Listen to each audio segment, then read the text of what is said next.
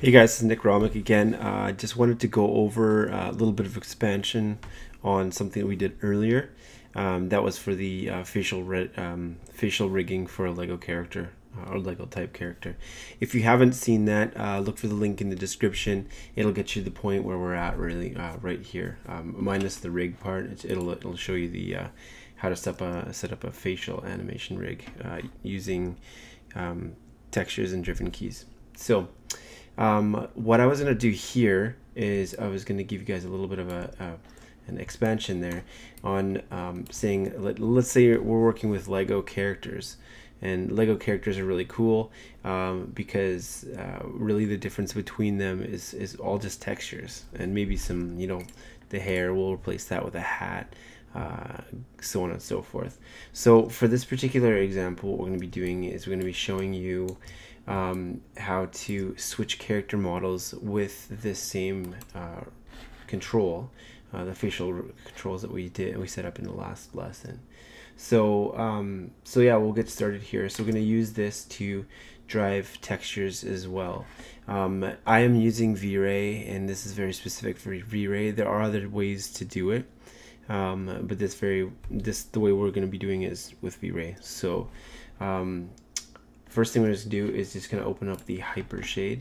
Um, and then uh, we've got a couple things here. I mean, uh, we've got Ricky's face, hair, pants, everything. We've got separate uh, shaders for each one of those. So I'm going to start with um, what's what's known as a switch. It's, so it's a uh, sorry, it's a V-Ray switch material. It's very nice. Um, actually, I'm gonna clear uh, clear this out of here. And so we've got this V-Ray switch material, which you'll see it'll show up here. So first thing I'm to do is I'm going to go ahead and I'm just going to rename that um, to, we're going to call it uh, face material. So, um, so this is the first thing that we're going to do. And the face material is really cool because uh, this is your, um, this is the switch and uh, you can have up to nine different materials in here. Uh, which is really helpful. Some of the other ones that were non-V-Ray were like two of them. You can kind of combine them, um, but it's a like a blend a blend one. So, but we'll we'll go over this anyway. So, uh, let's say I want two different faces. So now if I select uh, this here, you can see our Ricky face is one of them, but we're gonna add another one in here. Uh, I'm gonna duplicate that.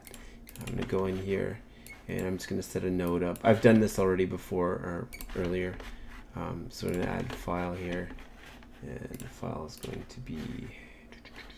So we've got a different folder here. So everything's coming from um, Ricky, and I've gone up here and I've added cop too. So this is a UDIM again. It's going to be in the uh, in the previous ex example. Um, so you just open that up. When you duplicate, sometimes you'll lose stuff here. So uh, actually, I'm going to UV tiling. It's going to go to UDIM, and um, I'm just going to reload. So I've got uh, generate preview so I can see that that's in there um, in the texture editor or Hypershade. So now that that's done, we've got two of them. So uh, actually, might as well rename, rename this one here to cop face. And now we've got two of them. What I'm going to do is I'm going to grab both of these and they're all in here already. Um, okay, so I'm going to grab the cop face, this and this and we'll just move those. Oops. Just gonna move those here. Kind of give us a little bit more view. Uh, okay, so I've got the cop face here, and I'm gonna do the same thing with uh, Ricky face. I'm gonna middle um, mouse button, drag it right in there. And uh, you'll notice that that doesn't have all the other shading networks in it. It is there. It's just not being shown in the hypershade. I'm not really worried about it because I'm not worrying. I'm not using it. Um, but here we've got Ricky face and the cop face as well. So those are the ones we're going to work with. We want to plug them directly into the face material. The easiest way to do that is to select one, or select the face material, and then don't select it, but click middle, drag that right directly into material zero, and then hit the right, uh, regular mouse button, or left mouse button. There you go, and you can hit enter to commit, and then we'll do the same thing with, uh, oops, just click on that one, and middle mouse, and then get into there.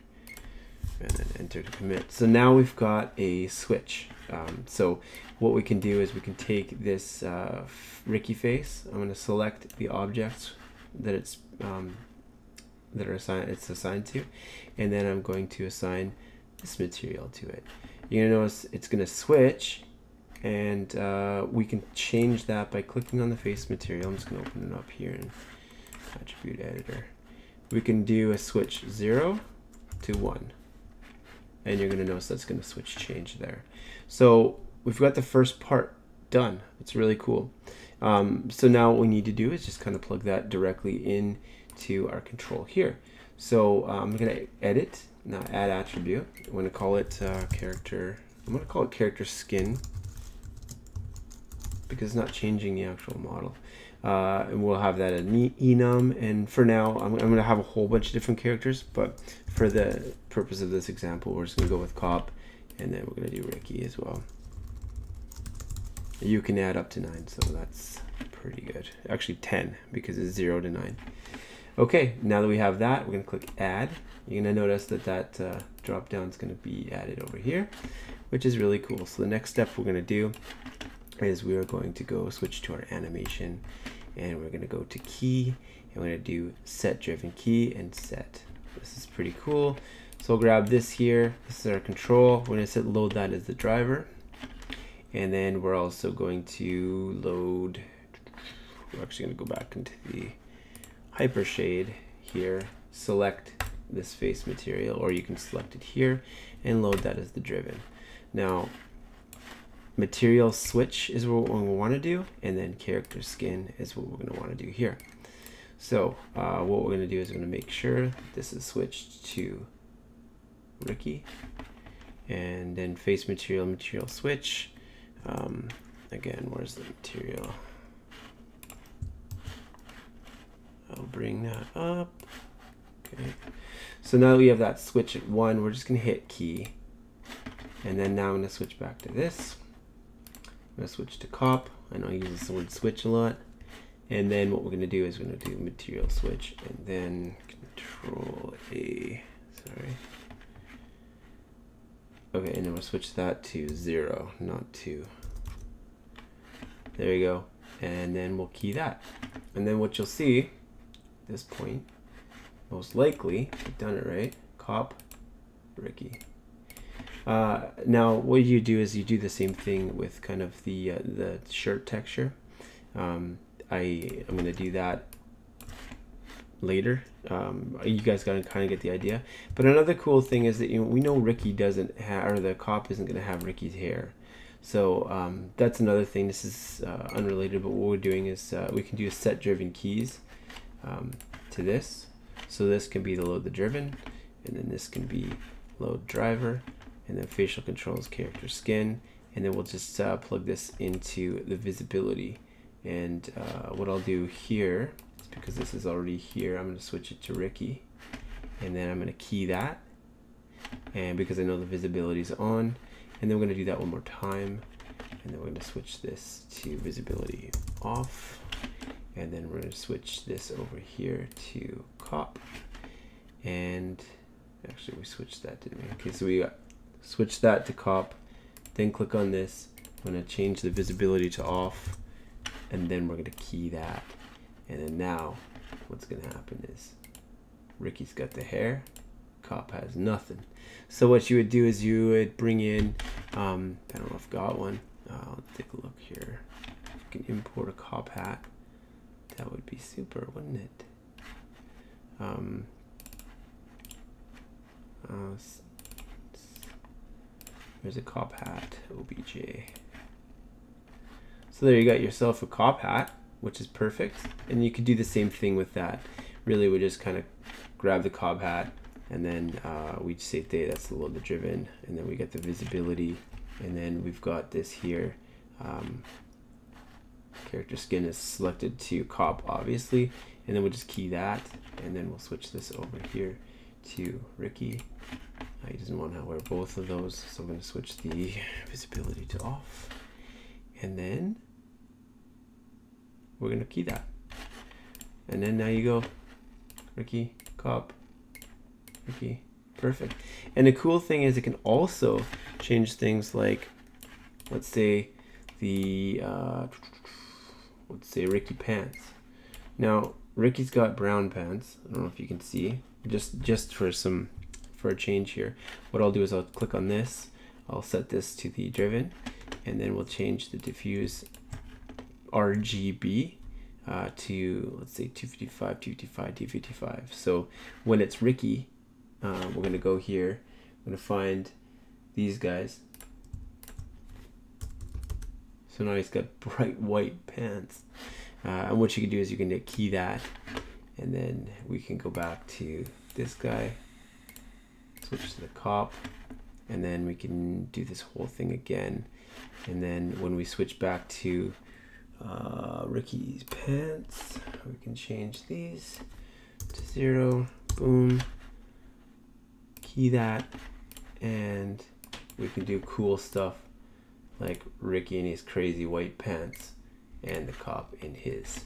So you can kind of mess around with a whole bunch of stuff. Uh, you can get this thing doing turning things on, turning things off, and that really helps kind of eliminate a lot of the you know multiple character rigs for the same kind of character, uh, and it allows you to skin them individually, cool stuff like that.